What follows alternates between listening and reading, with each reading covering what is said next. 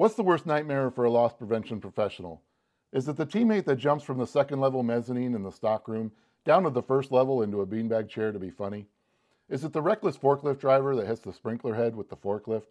Is it the crazy female shoplifter that hides jewelry in her private parts? Is it the bad shrink number after inventory that just gives you anxiety? No, for me, my worst nightmare was the emergency exit runner. And today's story takes place at that emergency exit. That is the exact one. I went back to the scene of the crime, back to my roots where it all started for me. Enjoy today's story.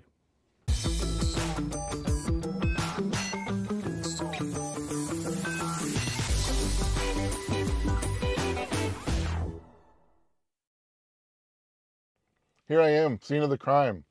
This is where today's story actually took place. Those doors right back there, so many sweet memories. Popping out of those doors to catch shoplifter after shoplifter after shoplifter, running across this parking lot this way, running across the parking lot that way, running behind this building, running on the side of the building, running through neighborhoods all around this building. Good times. Well, this story, it does not take place at those doors. This story takes place at the emergency exit I showed you at the beginning in the intro. Now, most of the time, we would stop shoplifters at those doors. We would let them pass the point of sale, which is the registers, and then give them every chance to pay for the item and stop them at those doors.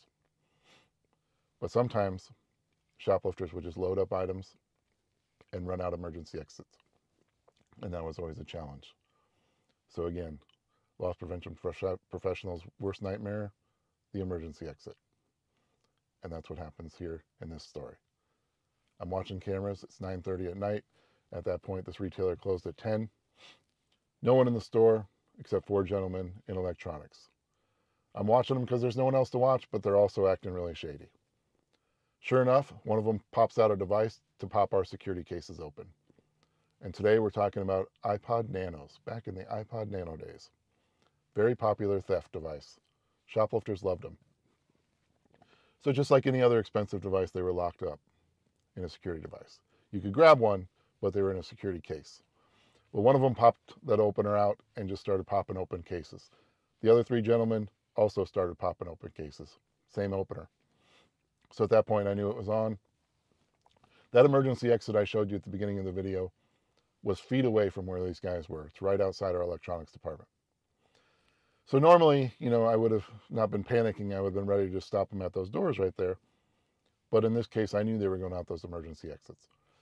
So in that case, because they're, it's pretty far from my office to run and, and catch four people, I called the police. And I'm going to just give a shout out to where I'm in. I'm in Bellevue, Nebraska, and the Bellevue Police Department is completely awesome. And this story is just evident to that. So I called them, and they were here immediately. They were just here immediately. Now, I'm going to preface this by saying that most of the time when the police department came and, and people were stealing like this, they'd just storm in and take him right there on the floor. And that was great and all, but as loss prevention people are uh, crook catchers, we wanted that bust. We wanted that stat. We were very competitive with our colleagues across the country, our colleagues here locally. We wanted that stat. It was like hunting and fishing, but for people. We wanted to catch them ourselves. So God bless the police department, but we wanted the stat ourselves. Now Bellevue, that's where they're, it's a beautiful thing. I've had a couple police departments do this, eh, which you'll hear about in future stories they were going to let me have my stat.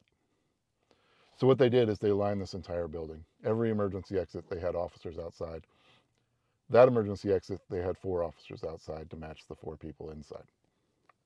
But they had them all covered just in case, which was fantastic. So I'm resting a little more easy as I'm watching them, and I know we're going to get them. And these guys are cocky. They are strutting around. They are laughing, and I, I swear, if I was standing, they they got the just the strut that you would just not believe. They were having so much fun as they were stealing these iPods, and it was going to make it so much sweeter when I got them. So they're strutting around. They've got every iPod we sell stuffed in one part of their body or another. And sure enough, they turn and look at that emergency exit and they're going out. And as they're walking towards it, they're laughing like they think they're going to get away with the crime of the century. So the first one just blows open the doors, and they are just met with a wall of Bellevue police officers. And it was fantastic. I wish I could share the video with you because it was a great video of the look on their face. It went from cocky happiness to pure oh shit in two seconds. It was great. Just great. So at that point, I start to run back there to help. The officers get one of them immediately. The other three run inside the store. Two of them split off. I start to chase them, and I look over, and the third guy that's running, a customer just completely wipes him out. If you've ever watched professional wrestling, he speared him, and it was one of the best spears I've ever seen.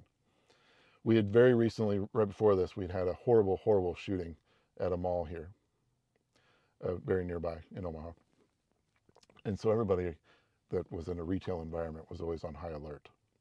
Well, this guy thought one of those situations was happening, and he just laid this guy out. So I was like, cool, customers got him. I'm going after these two. So they ended up running through the stock room, and they were trying to get to an emergency exit in the back.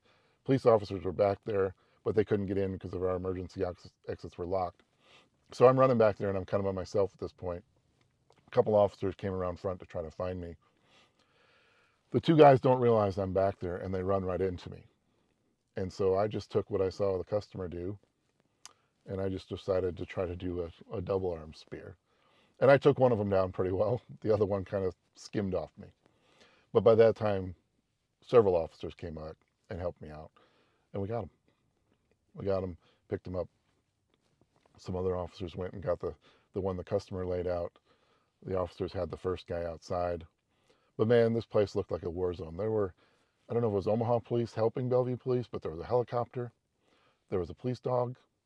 Officers all over the place. You had all the, the cherries going. It just looked like this place was under attack. But it was for these four dudes, and I swear the Bellevue Police Department had my back like no other. It was awesome. And we got them. So they tried the emergency exit. It might be the loss prevention professional's worst enemy, but not today. We got them. But so cool to be back here. So cool to reminisce. So many stories from this place.